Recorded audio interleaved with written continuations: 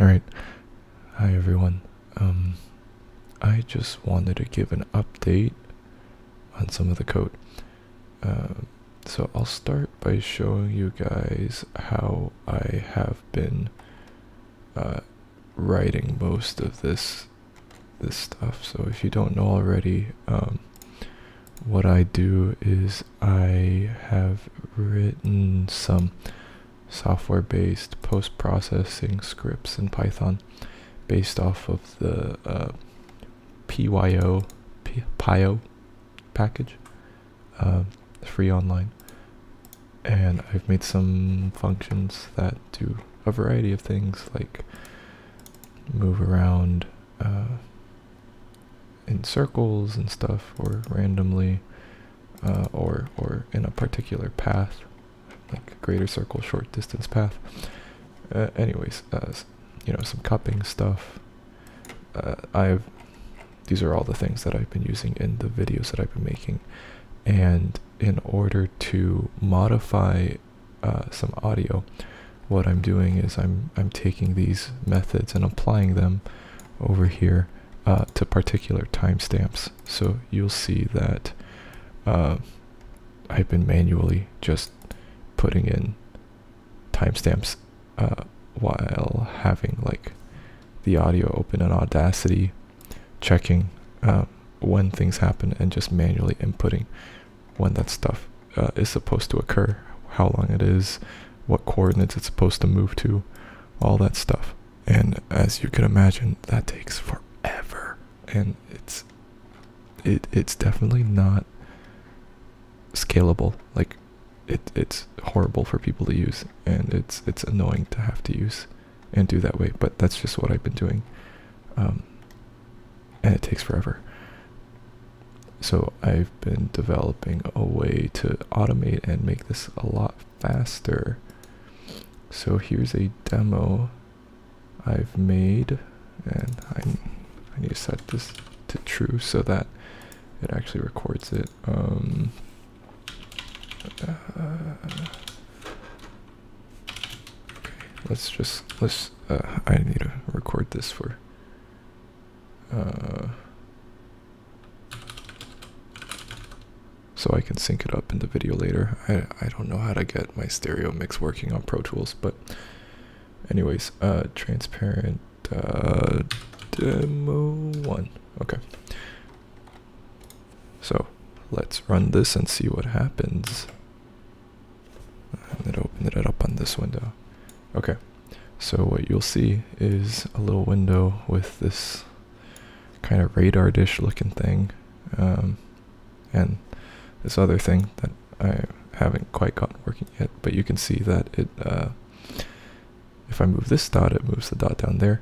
What this is, is essentially a polar plot um, with uh, azimuth going in the angular direction and elevation in the radial direction. Um, this is basically a map of 3D space around you, going from here being directly on top of you, here being at zero degrees elevation, so this is like on level around you, um, and this is a little bit beneath you, uh, and then, you know, we have this north direction is in front of you, this is to the left, this is behind you, this is to the right of you, and so on. Um, so I'm gonna play the demo and we'll just see what it sounds like and how easy it can be to just on the fly edit this sort of thing. So here we go. Press space to record.